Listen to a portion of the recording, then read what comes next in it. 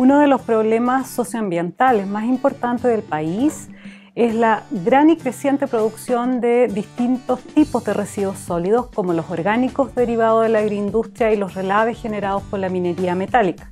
Aunque estos residuos sólidos no son definidos como peligrosos, su inadecuada gestión puede derivar en problemas ambientales.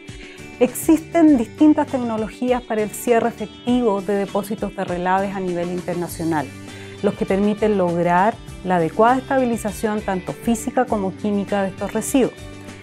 Entre ellas, la fitoestabilización efectiva ha demostrado tener una alta relación costo-efectividad y una buena aceptación social. Adicionalmente, permite otras externalidades positivas que son bien importantes, como por ejemplo aportar en forma importante al secuestro de carbono, eh, porque la línea base, digamos, de carbono en estos relaves es casi cero, son residuos minerales y por lo tanto también permiten usos posteriores de la superficie como recreacionales, productivos no tradicionales. También aportan a la conservación de la biodiversidad y a la restitución de servicios ecosistémicos, por ejemplo, recreativos, de regulación hidrológica, formación de suelo, al ciclo de nutrientes y la presencia también de polinizadores. Esta tecnología ha sido desarrollada y validada en el país por nuestro grupo de trabajo para los depósitos de relaves posoperativos presentes en las zonas norte-centro de nuestro país, llegando a pilotajes de terreno de mediana escala. El método considera el uso de residuos sólidos orgánicos industriales como lodos sanitarios o biosólidos, lodos de planta de tratamiento de purines de cerdo y diversos residuos agrícolas.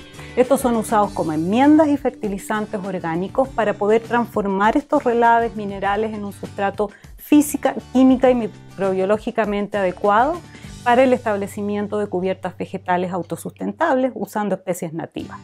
Las dosis y formas de aplicación de estos residuos orgánicos industriales dependen de muchos factores, que son residuo y sitio específico.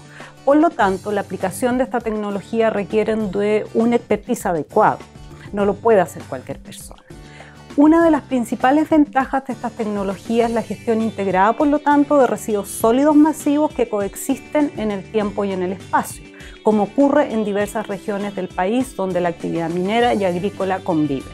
Esta condición constituye, por lo tanto, una oportunidad única para valorizar residuos sólidos orgánicos industriales generados en grandes volúmenes y la estabilización costo efectiva de depósitos de relave o operativas de grandes extensiones superficiales. Nuestro equipo de trabajo ha estado generando el conocimiento técnico para que esto pueda ocurrir, con desarrollos específicos para la gestión de lodos, por una parte generado por las plantas de tratamiento de aguas servidas, pero también de residuos orgánicos generados por la agroindustria, como la industria porcina, entre otros tipos de residuos.